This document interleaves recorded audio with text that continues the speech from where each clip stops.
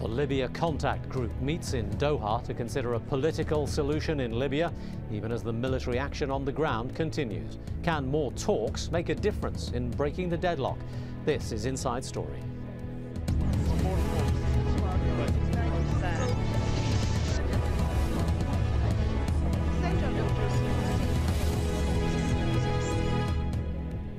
Hello and welcome to the programme. I'm Teymoor Nabili.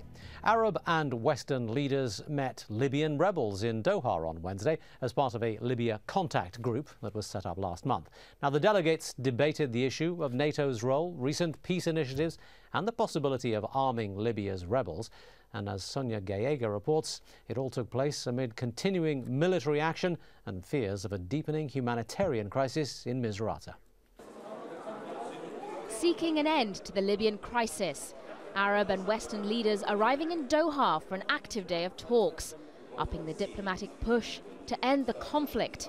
For the opposition Transitional National Council, the TNC, it's an opportunity that comes with one condition. We are with the peace. We'd like to have a peaceful solution, but we have a, pre-request for this any initiatives, and that request that Al Gaddafi and his uh, family leaves the country. The battle between Gaddafi's troops and opposition forces is deadlocked, and there have been complaints that NATO is simply not doing enough to protect Libyan civilians. For the TNC, the aim of Wednesday's meeting to get international recognition and break the stalemate of the current crisis. The key players at that meeting, Qatar's Prime Minister Sheikh Hamad bin Jassim bin Jaber Al Thani. Qatar is one of three countries, along with France and Italy, that has officially recognized the Council. Co-chairing is the UK's Foreign Minister, William Hague. Mr Hague has urged NATO to increase its missions if it is to succeed. German Foreign Minister Guido Westerwelle is also attending. Germany plays no military role in the operation and backs only humanitarian efforts in Libya. And Libya's former Foreign Minister Musa Kusa will make an appearance. He's been free to attend after British authorities questioned him about the Lockerbie bombing. But he's being viewed with some suspicion by the TNC. While Musa Kusa has distanced himself from Gaddafi's regime in Tripoli, he has not called for the Libyan leader to resign. The opposition won't accept anything less than Gaddafi and his family's removal. A recent mediation by the African Union stopped short of calling on Colonel Gaddafi to step down. That too was met with skepticism by the TNC. And while this impasse continues, the body count from this war continues to rise. It's time, the opposition forces say, for the international community to step up to its promises. Sonia Gallego for Inside Story. Well, to discuss the Doha talks and the situation in Libya, I'm joined by three guests. In Paris, Nassif Hitti is the Arab League ambassador to Europe. In Oxford, Oliver Miles, a former British ambassador to Libya. And here in our studio in Doha, Waheed Burshan, a political strategist working with the Transitional Council on humanitarian issues. Gentlemen, welcome to the programme. And let me inform you that as we have been speaking in the past few minutes, the uh, group in Doha has issued a, a communique of their findings and their conversation today. Uh, and much of it you would expect. It's uh, nothing particularly new, but there are a couple of points that I want to highlight to you. Firstly, uh, they have agreed to set up a trust fund for the Libyan people. They're calling it a temporary financial mechanism to provide revenue for short-term requirements. It doesn't say what those requirements may be or how the money is to be spent, so that leaves open the option that it may be spent on armaments. Uh, and the other line that's worth mentioning is an apparently slightly harder line against Gaddafi himself. The group says the meeting is united in the belief that Gaddafi's continued presence would threaten any resolution to the crisis. So, uh, Nassif Hitti, let me come to you first and, and ask you, do you think providing a temporary financial mechanism might make a difference? Well, this more firm position, as it started from Paris, then to London, then to Doha today, I think is important. It's extremely indicative of uh, the dangerous situation and the necessity uh, to apply at least the, the, main important paragraph of resolution, Security Council resolution 1973, which is an immediate ceasefire, ceasefire, to impose an immediate ceasefire, to reach a ceasefire and an end to acts of violence perpetrated against the civilian population. It's very important to have a very strong message, very strong message by all influential actors, whether Arab well, actors, the contact group also African did actors, mention European, international actors the contact on this group matter. did reaffirm uh, their allegiance to 1973 uh, and uh, the, the the contents of that. But what I want to ask you is, do you think setting up a financial mechanism to provide funds to the rebels is a good idea? Well, that's an important idea. It's a very necessary idea. It's a timely idea uh, to uh, provide support uh, for the rebels. But let me go a step further and say we must first and foremost, regardless of this idea, which is important, as I said, put an end, just put an end to this carnage that's happening against the Libyan population All right, well, and start engaging in a dialogue for the, for the people of Libya to decide uh, what is the end of uh, this uh, issue. Of how course, to come out of this crisis and how to find reforms, necessary reforms, and legitimate bonds. And every, everybody, everybody engaged in this conversation at all levels has made those same points as you have. The problem here is not necessarily that anyone doesn't share your sentiments; it's how to actually make that happen. Is what this contact group has been uh, here to discuss. L let me come to you, Oliver Miles. Uh, what do you think about what has been said so far? And is have you heard anything that might actually change this dynamic? Well, what you've told me is encouraging, and what the Arab League ambassador has said is encouraging, because I think uh, the Arab League are probably in a better position to take uh, take a stand than the international community is. Uh, it would be good to see the, the, Arab League playing an active part, and also the um, African Union. But I don't have very high expectations of this meeting in Doha myself. I think uh, what, what you've said about the financial um, arrangements makes very good sense, probably necessary. We know that Qatar has already played an important part in, in facilitating oil sales from the eastern part of Libya, which is under the control of the of the rebels. Uh, that's good. Um, we also heard today from the Minister of Finance, that is from the Gaddafi side, from Abdulhafid Zlitni, that uh, it seems that uh, money pressures may be beginning to be felt on, uh, in, in that area as well, and we should do everything we can to increase those pressures. But there's not much you can expect from the contact group, I don't think increasing pressures, uh, Waheed Burshan, is that necessarily uh, something that anyone is going to respond to at this stage? What we've seen so far is the two sides fighting themselves into what seems to be pretty much a stalemate uh, and no real sense that either of them is interested in having a conversation or perhaps stopping at, at a point that would allow dialogue to go ahead. Well, I, I would say um, from the, the Council's perspective, I think these things are in the right direction. I, have been in Benghazi, I, have uh, I've been in some of their meetings, and uh, uh, I understand fully the, the need for uh, funding and the need for uh, support and legitimacy for that matter. Um, I think from, from that perspective, uh, they themselves um, have already moving in the right direction in all aspects, but they needed the support of the international community. I think this is another level of support that is required and to the point of the Arab ambassador uh, that for the Libyan people at some point to decide, I, I, I, would say they have decided. They are looking beyond uh, this regime and they're looking for ways to, for the international community to support them to do so. Nassif Hitti, let me come back to you. This idea of support being necessary is, is, of course, at a diplomatic level, perfectly reasonable. But uh, again, I have to ask you, what we have seen thus far is absolutely no response from Colonel Gaddafi and no apparent um, effect of the continued pressure from the United States, from NATO, from the Europeans for him to stop. So, how does another expression of support change anything? Well, as I said, uh, there are not uh, two different opposing or opposed to each other tracks. They are actually complementary tracks, providing all kinds of support, all kinds of support, and I stress all kinds of support to the Libyan people is extremely important as a must, as we say today before tomorrow. There is a sense of urgency that must be needed and, and, and, and taken care of. That's on one hand, on one track. The second track is formulating a very strong, clear, the, in the clearest possible way, message to the Libyan regime that they must first and foremost reach a ceasefire, accept a ceasefire, a verifiable ceasefire, stop attacking the civilians, and when I go back to the idea of what the Libyan population decide or what the Libyan people decide, this has been entrusted and encrusted in the Security Council resolution. It is a process later on of national reconciliation, of rebuilding Libya. And of course, again and again, we stress that it's for the Libyan people to decide on the finality. And this is a process that we must also, the international community, All right, the Arab in your world mind, first and foremost, the Africans, everybody else must be supportive of that process, must be supportive and backing entirely of that process. In your mind, how likely is a ceasefire to occur in the next few days, weeks even?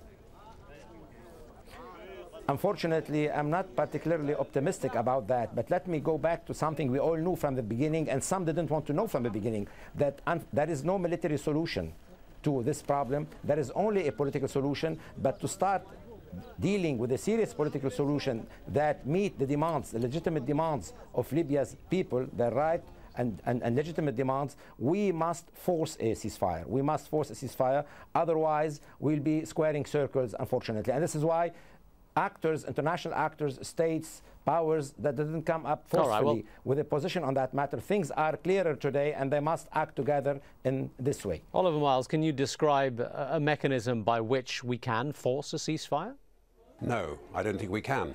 I think uh, both sides would would. Uh, be very suspicious indeed of a ceasefire at the moment, uh, because for the rebels it would mean that uh, Gaddafi's forces would be left in able to dig in more closely around uh, centres of, of, conflict like Misrata. And for Gaddafi's side, it would mean he'd be in an impossible position because the first thing that would happen would be a demonstration against him in the streets of Tripoli. And he would either have to allow that demonstration to, to take place or he would have to start shooting people. And I think I know which one he would choose in the in the current context of this conversation and this uh, suggestion that constant support is essential uh, for the process to move forward. What are we to make then uh, of the role of the African Union, whose support, it would appear, is much more on the side of Gaddafi than the rebels? Well, I was very disappointed with the African Union performance in uh, their attempt at mediation. It's a, uh, an absolute uh, uh, requirement of mediation that you should begin by trying to understand the position of both sides. They didn't do that. As a matter of fact, President Zuma, who I suppose was the heavyweight member of the team and incidentally the only elected president among them, the other ones came to, to office by, by uh, coup d'etat. Uh, president Zuma didn't even bother to go to Benghazi. He just listened to Gaddafi and then went. Well, so it's not very encouraging. It's, it's not indeed, and uh, uh, nothing seems to have come of it. And so we do again find ourselves in that stalemate situation. Waheed Burshan, uh, from your visit to Libya and from your position uh, as, a, as a Libyan and an observer, uh, how do you regard this conversation, these constant talks, these constant expressions of support, uh, and yet very little result? I, I think uh, Ambassador Oliver uh, pointed out something really important, and I think it's in the mind of a lot of people in Libya, is that the west uh, of Libya, the Tripoli, the capital, they, they, they, they need to be some movement on that. And I think the stalemate, the only, the only thing that would break the stalemate is to have uh, movement in the west side. And I think uh, uh, the, the council have recognized that, and I think the international community have recognized that, and I believe they're putting more resources, more focus on that. Once that happens and people start coming out and um, um, declaring, and have they, they, have declared it uh, uh, many, many times, but I think in more consistent fashion, uh, I think it will it, it, it, will uh, create an environment um, uh, to, to move forward out of the stalemate. Oliver Miles, on a practical, I mean, let's let's just put the cards on the table here and be entirely honest about the situation. At a tactical level, NATO's involvement and the involvement of the uh, Western powers has failed to make a difference. On a strategic level, uh, there appears to be no plan that is going to produce any better results. Uh, what is a way forward here? How, how is any of this talking doing anybody any good? Well, I think you slightly overstate the the uh, failure of NATO. After all, um, the, the, intervention of NATO has destroyed a lot of tanks and heavy heavy weaponry. I'm sorry uh, to interrupt, Ambassador, but as we side. speak, Misrata is coming under continued heavy fire. There is talk amongst the agencies of a, a humanitarian crisis about to take place. Uh, the Gaddafi forces are apparently acting at will. All right. Well, I won't go on about uh, the, you know how we we may have saved uh, lives in in Benghazi. We failed. That's true, and I think that was quite predictable. I think we went into this too quickly without working out uh, how what the end game was going to be. It was it was pretty clear, as a matter of fact, that uh, military intervention based on the Security Council resolutions was not going to solve the problem. All right, Oliver Miles, uh, I'm afraid we are going to lose you at this point. Appreciate your contribution to the conversation. Oliver Miles, a former UK ambassador to Libya. Let me go to Nassif Hitti, the Arab League ambassador to Europe, and, uh, and put the question to you. At a time when uh, Colonel Gaddafi's forces are causing what appears to be extensive damage and casualties in Misrata, uh, again, I just want to put to you the question of how is this going to stop? At what point is this going to stop, and what's the mechanism by which that will happen? Well, we were very much aware from day one, from the very beginning, that any military action or any international external action to put an end uh, and, force a ceasefire on the Libyan regime act, uh, actions of violence against its own population cannot be, this is reality, unfortunately, I don't want to be sound cynical, cannot be divorced from the views of these different actors, international actors, regional and non-regional actors, about the situation in the region. So this is why some people thought at some point of time to proceed carefully, though the issue is extremely dangerous. And, and every time goes on, every time we feel that there are more casualties and, and, and the Libyan people are having and, uh, and, and suffering more and more and that must come uh, to, to, to, an end. Now, how to act, this is why I go back to what I said first. I think it's important to have an open-ended conference, an ongoing conference, a mechanism of almost day-to-day -day contacts today among key involved international actors. When I say key involved international actors, I do mean Arab, African, and other actors to seek a platform, an agreed on platform, in order to send one single message on first and foremost the need to have a ceasefire. And when I say ceasefire, like my distinguished colleagues have mentioned before, it's not a ceasefire on one hand and the continuation of resorting to acts of violence against its own people in different cities on the other hand. A ceasefire would include everything as it has been indicated in the resolution itself in 1973. So it must have an integrated approach to that matter. I think more pressure is needed, a clearer message. When I say clearer message, a clearer message is a message that embodies more, more pressure, more direct pressure, political, diplomatic, economic, and other form of pressures to put an end to this really carnage carried by the regime against its own people. Well, it's interesting that you talk about consensus and the, and the need for it. Do you think that uh, your organization, the Arab League, uh, or any of the uh, other Arab actors have been sufficiently united or determined in their approach to what's going on? Well, you know, we, we know very well in world politics, uh, a consensus is something that could be sometimes frail and it needs always to be, to be supported. And that kind of consensus, whether in the Arab League or elsewhere in an, any kind of different regional or international organization, is supported by what I mentioned to uh, just a minute ago, ongoing negotiations and ongoing discussions and ongoing uh, dialogue among the concerned actors about how to best uh, you know, support and back that kind of, uh, of active uh, consensus. It's an active what is needed. It's not a passive consensus. It's not to say we want to see this happening and just we sit and wait. It's an active consensus to try to be involved, to be engaged much more actively and with that, that kind of backing up of a consensus. Waheed Burshan, let me put the same question to you. What do you think about uh, the Arab countries, whether they be the Arab League, the GCC, or any other body, what do you think of their commitment to what's going on and uh, their unity and its effect on what's happening? Well, to compare them to uh, previous uh, issues that they had to deal with, I think this, this one, the Libyan issue wasn't that bad. I mean, it was obviously from the Libyan perspective, it's not, uh, I mean, they needed more. But uh, we were surprised, I mean, how, how uh, uh, unanimous were, were on their decisions. And, and the GCC, I think they're doing just fine. But let me go back to the, to the point that was earlier mentioned in terms um, what needs to be done to, to break this up. Well, can, I, can, I, can I just stop you there, Waheed, for a moment? Because I just want to talk about this issue of consensus, because it's unfair to talk about the Arab consensus without talking about uh, the other consensus. We don't seem to have consensus in Europe and the international community either.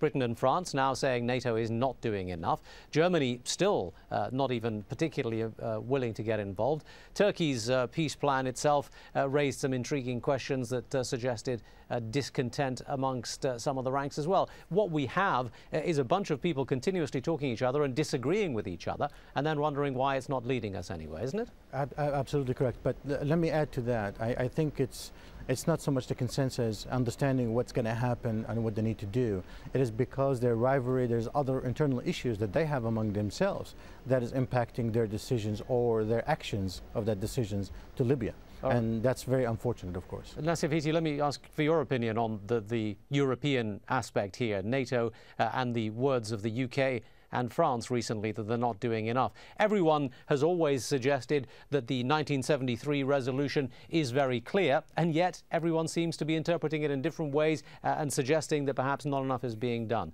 What are we to make of this? Well, everybody could stretch a bit his or her interpretation of the resolution to include something which is not clearly negated by the resolution. I mean, that's an open-ended thing in terms of interpretation, but there are things which are very clear. For instance, against uh, uh occupation, it's clear. No occupation of, of the Libyan territories, that's clear. And many other things are clear. Now, what could you infer from the resolution remain to be you know decided here and there and it's open for debate. But when i spoke about consensus i didn't mean only and exclusively consensus within the arab league. I meant an inter-organization let me put it this way inter-organizational consensus among all the different groups of states whether arab league uh, african union e eu and security council and other members to create a, an active consensus based on ongoing debate on a sort of following up on a day-to-day basis of the crisis mm. to, uh, to always enrich and maintain this consensus. And this cannot be done but by a kind of ongoing dialogue among all these actors. I mean, let's, let's be honest about it. All these actors also have to respond to different demands. They act in different environments where they have different priorities. If there is an agreement on this issue, we don't need to have an agreement as a matter of principle. We need to have an agreement as a policy on this issue, and not only as a matter of principle and just shelve it somewhere. And time is running out, and time is of essence because of what's happening to the Libyan people. This is why we need an, an ongoing discussion and a wide the widest possible kind of consensus that goes beyond the Arab world, beyond the African Union, beyond Europe, into the international actors, all concerned about putting an end to this crisis. And each of these actors could contribute its own way in trying to find a way to contribute to this consensus, to this working again and again, a working, backed up consensus. All right, well, we'll have to wait and see if that actually happens. This, this Doha conference um, not going to be an ongoing one, from what I understand. Uh, but I suppose one thing that we can take some heart well, in. challenge one thing that I think we can take heart in is is the suggestion from this consensus, that, uh, this conference rather, that a little bit of consensus is beginning to emerge about the role of Gaddafi himself after the African Union's peace plan, which didn't involve uh, mentioning him particularly. Uh, this conference has decided that Gaddafi's continued presence is a threat to the resolution of the crisis. So, uh, Waheed Burshan, let me come back to you. I mean, you asked earlier on what exactly the next step is going to be. Uh, outline for us what you think is going to happen next and whether this kind of uh, hardening of the attitude against Gaddafi might make a difference? Well, actually, uh, the, the, point that just uh, just made as far as the consensus is an excellent one, and I think, uh, uh and, and the, the fact the resolution uh, has to be political. Um, it's when the Gaddafi will realize that, uh, that, that, that's it, he has to leave, and that realization, it's not going to come about with um, with with all the these entities not having that consensus. In any case, I think what's going to happen right now, unfortunately, unfortunately, is that uh, things have to change on the ground a little bit more in the favors of the Libyan people. Um, and, and I think uh, that if that's not going to happen, if things in the West are not going to happen, mm. uh, you know, it's going to, he's not going to come to that point. All right, I, well, I think the focus has to be in the West at this point. Of, one of the, when you talk about things changing on the ground, one of the uh, issues that was discussed at this uh, Doha conference was the issue of possibly uh, arming the rebels. It's obviously not a new suggestion, but it's one that has been rejected consistently so far. And I believe it was rejected again at this Doha conference. Uh, Nassif Hitti, do you think that there will ever come a time when they might have to change their mind on this issue? Well, I think uh, it depends on the evolution of the situation uh, on, on the ground. But I'm sure certain states, certain groups of states are already engaged in this, in this way, uh, in, in, arming uh, rebels, are committed, are thinking of arming the rebels. This is why I go back and say when I spoke about a consensus, I didn't mean just to have a conference standing there all the time and discussing the matter. I mean creating a mechanism of almost day-to-day -day consultation among the key actors on how to respond, how to react, or how to preempt certain actions that could happen and continue to send very strong, very strong message, all kinds of messages to the regime in order to stop the killing and right. accept, seriously accept a, a global uh, ceasefire that is a necessary sine qua non condition to proceed to change in Libya. Well, finally, Waheed Burshan, the same question to you. Is it time to arm these rebels? I, I believe so. Uh, no question about it. The Libyan people are asking for it. Um, and, uh, and I think it's the only language that Gaddafi will understand. Um, unfortunately, if you we're giving him um, many many options. I mean, political one, uh, you know, for, from a compassion uh, point of view, he didn't he didn't uh, respond to any of that. And unfortunately, that's what he would respond to is, is you know military action. All right, there we'll have to leave it, gentlemen. Waheed Burshan here in Doha. Thank you for your contribution in Paris. Nassif Hitti, Arab League ambassador to Europe, and we were joined earlier on from Oxford by Oliver Miles, a former British ambassador to Libya. That's it for today's programme. Thank you also so much for joining us here on this edition of Inside Story. We always welcome your comments and suggestions. If you have any, email them to us at insidestory at aljazeera.net. But that's it for this programme. Goodbye for now.